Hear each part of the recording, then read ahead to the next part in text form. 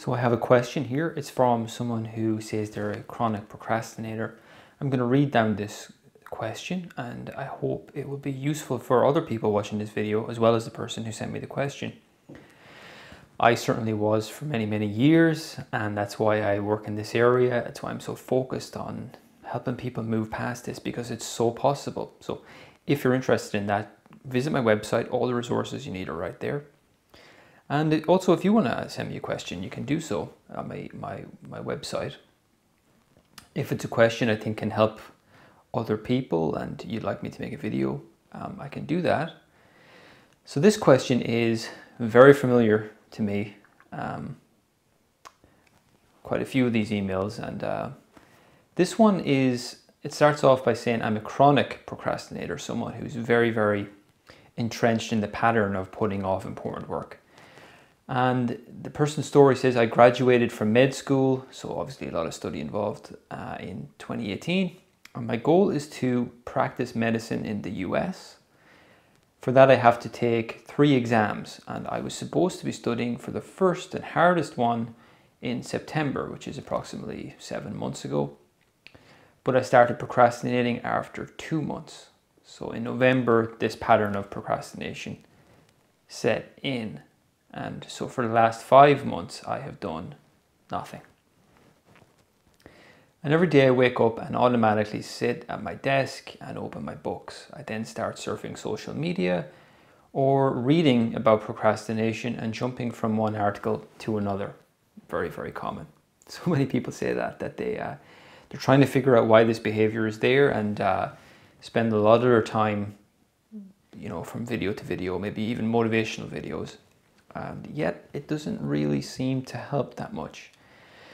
So that either tells me that either the person is intellectualizing the advice or the advice that they're getting is not particularly useful. And I think the advice that they're getting is oftentimes not very, very helpful. But um, I'm hoping that the advice that I give to people is is more, a little bit more what's going on underneath the surface, not about just changing certain behaviors because that's superficial and it won't change things. For instance, somebody might just tell you, stop browsing social media. There's plenty of that type of advice online. Doesn't cut the mustard. It, that's not what's causing this issue at all. So, just to finish this, this message, it says, um, so I start, I stay in this pattern until I go to sleep. So that's what happens for the day. Putting off is, is a cycle. It's a cycle. From November till now, I have studied only 10 pages. So not making a lot of progress. I can't control myself and I feel so desperate. And that sense of desperation is exactly why I'm so interested in this topic. So I'm going to give you some advice and um, it's not going to be the typical advice that you might hear, but um, the root cause of this is low self-esteem. Now, obviously, I don't know this person, uh, at least not yet, um, but from my advice, speaking generally from my, from my experience, this is caused by low self-esteem. And what happens with that low self-esteem is, you know, it's that feeling of unworthiness. I'm not good enough. Maybe I, I don't have what it takes, etc., etc. That turns into okay, because I have this feeling of low self-esteem, I start to use this thing in my life as a form of self-punishment. Now it's all unconscious. Okay, nobody wakes up in the morning and says, wouldn't it be great if I could find something today to use to punish myself? So that's one of the primary reasons for this. What we need to start to do is to go to work on your self-esteem to make you feel good about yourself again. Two ways to do that, of course. One of them I'll talk about now in a while is how you talk to yourself. And another one is, well, I stop hurting myself. I stop undermining myself. And that's where the procrastination stuff comes in. Once you get a handle on that, you stop to reinforce these negative feelings about yourself. And a happy byproduct of that is that you get a lot more work done and you feel more creative, more alive, and you also have a way a way healthier work-life balance. So you'll certainly get a lot more done than 10 pages in what five months okay but you can look at that and say oh my god but that's what it's like that's what it was like for me that was what's that is what it's like for so many people who have this issue. It's this sense the work is so important and yet I'm not making any progress with it, even though I have this huge important label on it. Okay, so what I would also say on this is the biggest fear we have, if you can understand what the big fear is behind all of this, it'll be a big, big help in terms of breaking the pattern because we tend to think that the big fear is, well, I'll fail in my exams, the three difficult exams. And there's actually, okay, maybe that's a belief that's there, maybe that is a fear. But from my experience, again, the big fear we have is that it's not that we'll fail, it's that we will fail to take action, that we'll fail to follow through and do what is required. And because that insecurity is there, that lack of self trust, well, anxiety builds and we, we deal with that feeling of anxiety through procrastination. Procrastination is actually a defense mechanism to deal with anxiety. Okay, so in terms of practical things you can do, what I would say is start to, there's a whole process of this. There's a four hour video course on my website for this, and, um, and a book also on this. And it describes the exact route you can take to stop undermining yourself through procrastination and start to build self-esteem again. A few tips I would say, uh, because I want this advice to be to be there for, for, for lots of people, not just people who take the course, although I do strongly advise you to take it, especially if procrastination has been a pattern for you over, over a period of time. First thing is to start to pick when am I going to do work and pick it mindfully. Okay, so identify when does work begin for me, have that as the intention. Give yourself plenty of rest time before it happens. And what I say, what I call that is to be um, be kind to yourself but conscious. So know you should always kind of know when am I going to engage with the work. And that could be in four hours time. That means I have four hours to relax. It's not all about I need to do it now, I need to do it now. It's about setting consciously. Look, when, it doesn't really necessarily matter when you say you're going to start. It's just to identify. Okay, give myself some time, then I'll begin. Okay, that's kind of one of the first steps that are involved in this. That's going to make your nervous system a little bit more relaxed and it's going to not feel so hurried and overwhelmed. Overwhelmed, that emotion of feeling overwhelmed and hurried and rushed and under pressure all the time, your nervous system does not respond very well to that at all. So it's going to shut down. So we, we have to, first of all, start to deal with these feelings of anxiety in the nervous system and start to soothe it, work with it rather than against it.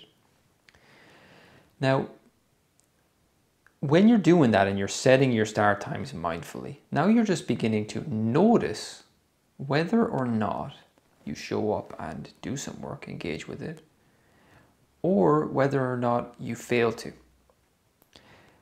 You become an observer, almost like a scientist of your own behavior. Now, as long as you're observing it, this is very, very helpful because you can start to realize what am I doing?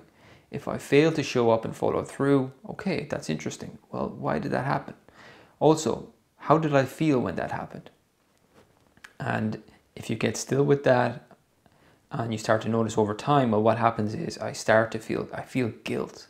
There's feelings of unworthiness and shame that are there for me. So many people tell me, and experience this, obviously myself, because I'm no different to anyone else. There's nothing special about me. Anybody can get over this issue. You start to notice every time I do this, I feel guilty. I keep perpetuating this cycle of guilt. That's your first clue that will tell you that this is a self esteem issue. I'm undermining myself because of these feelings of unworthiness. So start to notice whether or not you procrastinate. Now, if you do procrastinate, what I tell people is to implement a consequence, and the consequence is that there is no work done for the rest of the day. That is a huge, huge help for procrastination because it sends a signal to your unconscious that I am not going to rely on procrastination as a coping mechanism for my anxiety anymore. I'm going to have to find other ways of dealing with that anxiety. And also, it gets you out of a, headspace of being indecisive about things. No longer will you have this cycle where it's okay, the person in the question mentions that they wake up and they're sitting at the desk and it's just this indecisive thing all day long. It's really indecision that's causing those, those feelings of uneasiness. With this approach, what I'm telling you to do is to set the time and either notice if you do it or not, and if you don't do it, implement a consequence. With that consequence of taking work off the table entirely for that day, indecision has gone out of it. Okay, there's no more indecisiveness. The book goes into why that's helpful in a lot more detail in the course as well. But basically, you're just training your mind to realize I can work or I can relax, but I can't procrastinate. I have to make up my mind. I have to, it's training you into being decisive with this. Now, more fundamentally, and I'll finish on this, is the, the whole thing about self esteem. And how we talk to ourselves in this is a huge, huge part of building greater self confidence, self acceptance, self trust, self love, really, self compassion. And I think it's even in the email there, the term have to and need to, okay? We need to, see, I even said it, but I think it's actually okay in this sense. We do need to get rid of the negative self talk and that talk about needing to and have to do certain things because it, it instills within us a sense of coercion, of being forced, forced to do something I don't necessarily want to do. It makes us feel small, it makes us feel controlled, it makes us feel like slaves almost. So to start to change our language, and I, I usually tell people to start working on a story and to start journaling with different types of language. And when you gradually start to use terms like, well, I want to, or I choose to, or that would be fun for me, that's a preference I have, those types of terms, it changes your psychology in terms of engaging with work. You're doing it for very different reasons now. Because if you do sit with it, you will find, well, I actually do want to do this. Really, I genuinely want to do it. Sounds like you're on a great adventure here. And uh, it sounds like you've got huge potential and just so many opportunities waiting for you in life. So it's, yeah, I do want to do it. I want to do this rather than using that old conditioned language of I need to, I have to, must do, all those things. When your self confidence comes, there's less of a need, an unconscious need, to feed into that negative self image we have for ourselves, to reinforce it through acting out our behavior in terms of procrastination. It just reinforces that belief that's always there. So I hope that advice is helpful. Again, um, it's so great to see people talking about this issue because so many people have this issue and it causes so much uneasiness, so much negative emotion, and it's easily solved. That's one of the goals I have for this this channel for my work as a therapist is to help people with this. Because I know it's so possible to change it. You will find that when you start to address this, you'll be engaging where you're working so effortlessly. You'll be excited about it. You'll start to see momentum build in your life, but more importantly, you'll start to feel good about yourself as a person again. And when that happens, it's just life is so different. Life is so, so different when that happens. You'll realize there's nothing you can't do, and you'll be engaging effortlessly with your work. So, again, just if you want to learn more about that, visit my website. Um, the resources are there, and uh, I hope it was helpful. And reach out if you have a question as well. Take care of yourself, folks, and I'll talk to you next time. Bye for now.